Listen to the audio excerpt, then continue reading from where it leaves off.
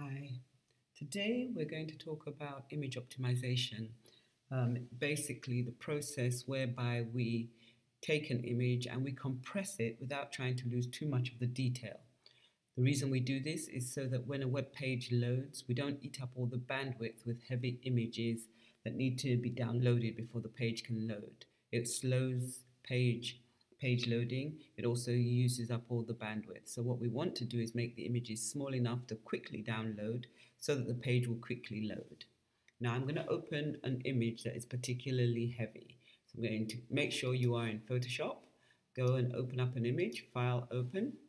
Um, I'm looking in my downloads. There's some images that I've downloaded that are pretty heavy, so I'm looking at the size more often than not. I think I've got a 4 meg image somewhere in here. Yep, there it is.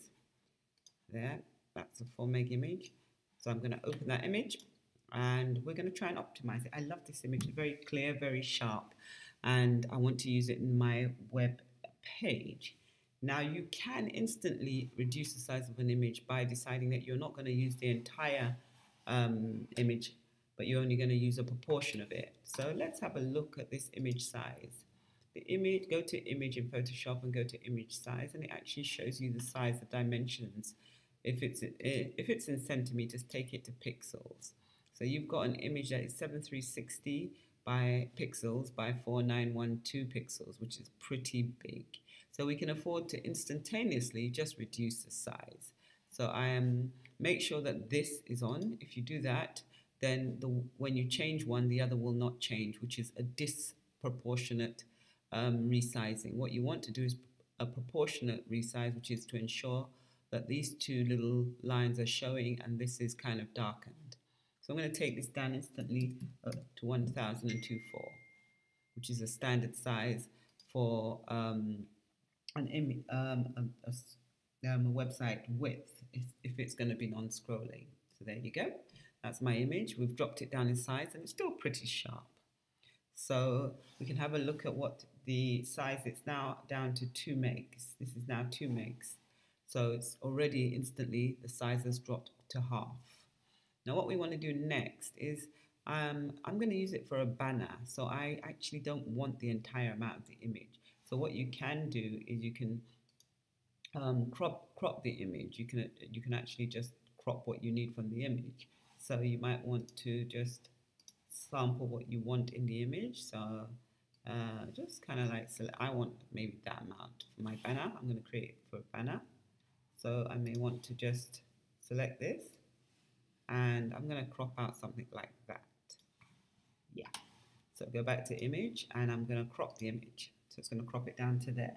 So again, I've taken this now. If you look at the bottom here, you see that it is 856, um, 858. The image size has dropped again, but it's still not sufficient. It's still too big.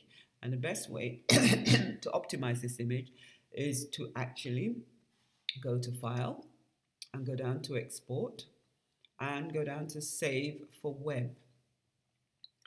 Now, when you click that, it brings up a box that says Optimize and it brings up some settings that you can use to optimize down the right hand side. It gives you the preset, whether you want a high JPEG, um, JPEG, the, jet, the format is JPEG, the level of quality is high, the percentage of quality, whether it's progressive, so the image as it's loading goes from a low quality image to a high quality image. But bear in mind that most web, um, some um, browsers don't support this. It could be blurred. The matting is to do with if you are changing it from a PNG to a JPEG, then the transparent background needs to be accounted for. So if you are doing that, you need to make sure that this color is the color of the background that you are placing the image on. So if it's a black background, you choose black. If it's a white background, you choose white, whatever the background color. Now convert to R RSGB, which is the internet standard red, green, blue colors.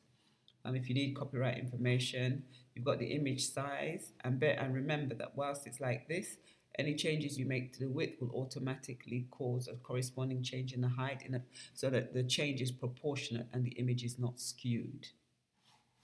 Down here, you see that this JPEG is 4503, 45 kilobytes, which is not bad. We want um, a very, and it takes nine seconds. That's not bad. That's not bad if we have a JPEG high resolution optimized. If it's not optimized, what happens? So it's a slight difference. So we could simply um, go, instead of going for a high JPEG, you could go for a medium one. And if you get two up, one down, the original is at the top. The um, optimized one, which is at five seconds now, see the difference? It's only a slight difference. You'll notice there's a slight blurring here and the image is a slightly less sharp quality, but really not sufficient enough to, to cause any heartache. Your download rate's gone to five seconds. Let's just have a look at what um, JPEG low. JPEG low, it's gone down to four seconds. It's becoming a bit grainy there. Yeah, so you might not want to go that low, so you might as well go for JPEG high, but an optimized version, which is a bit sharper, takes nine seconds, and it's only 45 kilobytes as opposed to 858 kilobytes. And once you're satisfied with your optimization, and you're you're primarily looking at the quality and the and the file size and the fact that it's a JPEG format because JPEG is a format that supports um, image um, images being compressed. So you need to ensure that if you have a PNG file, you need to export it as a JPEG. And remember that in terms of um, PNG, you'd change the matting. You'd make the mat the same color as the background. But this one, and then have a look at the quality. I think this is about right, and the download speed is fine. So what I'm going to do is I'm going to now save that um, save name. Um, you might want to put a slice, I might put OP just to show it's optimized in my downloads, in my document folder, in documents for now, and save. That's it. And that's how you export um, an image in an optimized state to be used on a web product, a website. Let's have a look at whether it's actually that size. So let's go in, I put it in documents. I think it was, uh, where is it, where is it? Romanov something something. It's somewhere around here. There it is. There it is. And as you can see, it is 47 KB. So indeed, it's done what it's meant to do. And that's how you optimize images and the reason for optimizing images. So try it yourself and we'll meet again on another session. Thank you. Bye.